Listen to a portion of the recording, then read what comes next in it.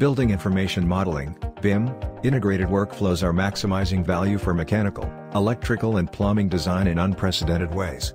The traditional process is sequential, inefficient, and time-consuming, leading to errors and delays, which result in higher design costs and suboptimal design. On the other hand, BIM facilitates interconnectivity between all the stakeholders by enabling real-time coordination, so that architects, engineers, and owners can work concurrently from a central model to make it fast and efficient. This allows us to create an optimized design with error-free iteration so that your project can remain ahead of schedule. With BIM integrated design, mechanical and plumbing firms gain certainty in calculations. That certainty allows us to reduce the safety factors from 20% to 5% by removing the need to oversize equipment. With BIM integrated design, we can also optimize the equipment sizes and material usage, resulting in up to 40% savings in design time, and up to 25% savings in project costs.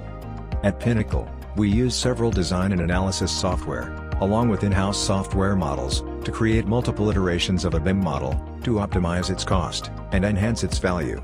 We provide comprehensive design support, for all mechanical and plumbing design stages. Our BIM integrated workflow, for mechanical design begins with Heat load calculations. The steps are ensuring perfect measurements, assigning design criteria, and calculating the load using our software platform. Once the load is calculated, we select the relevant equipment by prioritizing performance, cost, maintenance, and efficiency for mechanical ducting, and mechanical piping. While making our recommendations for air terminals, we consider space type, interior design information, airflow, total pressure, throw, and noise criteria. Duct sizing. The ducts are sized, based on volumetric airflow. Now, we calculate the external static pressure. This is the pressure required by the fans inside any HVAC equipment, to deliver the required airflow rate so that the air can reach from the HVAC equipment, to even the furthest index point. After the ducts are sized and air terminals are placed, we create the layouts for duct routing. And, just like that, our model is complete. From this point on, we generate visually informative riser and isometric drawings, that allow clients to evaluate the building's systems, in 3D and 2D space. We also create detail, section drawings, that allow you to explore, evaluate, and enhance your project, in granular detail. Creating an itemized list of equipment, along with costs and quantities is the final step, allowing you to control and optimize your budgets. Similarly, our BIM integrated workflow for plumbing design, offers accuracy with quick turnaround times. We begin with placing fixture units, that are used to determine water supply, to fixtures and their service systems. It is rare for all fixtures in a system, to be used at the same time, so the total units achieved by adding the numbers for all the fixtures, is then compensated for their intermittent use. From there, we begin creating riser and isometric drawings, that indicate water, drain and vent lines being installed, along with all the pipe sizes, and cleanouts for the sanitary system. We combine BIM integrated tools, with traditional methods, to provide clients with accurate and optimized results for water supply, waste and vent, medical gas, and natural gas. We geometrically arrange pipes from the water supply, to each individual plumbing fixture, optimizing the system efficiency and minimizing energy costs. We design efficient stormwater systems, that include carrying the stormwater, runoffs from roof drains, courtyards, and drains, to a predetermined disposal site. Using our detail and sectional drawing, you can evaluate the building model in granular detail, and isometric projection, allows you to view our 3D models in two dimensions. Now, we create a schedule of all the plumbing fixtures listing sizing, and other details.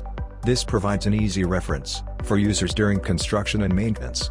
The final step is extracting the quantity takeoff, that facilitates procurement planning and helps you optimize your costs. Our BIM integrated workflow, for electrical design, begins with illumination calculation, where we determine the optimal amount of light required by the building's occupants, while optimizing energy costs and resource usage. From there, we determine the steady-state operating characteristics of the power system, for a given load, the generator's real power, and voltage conditions. In short-circuit analysis, we validate the stability of the network, and provide accurate element parameters, to determine the currents that flow during an electrical fault, minimizing risks while optimizing output. Post-load calculations, we derive accurate specifications of elements, as per applicable codes and standards, including cable sizing, conduit sizing, conduit routing,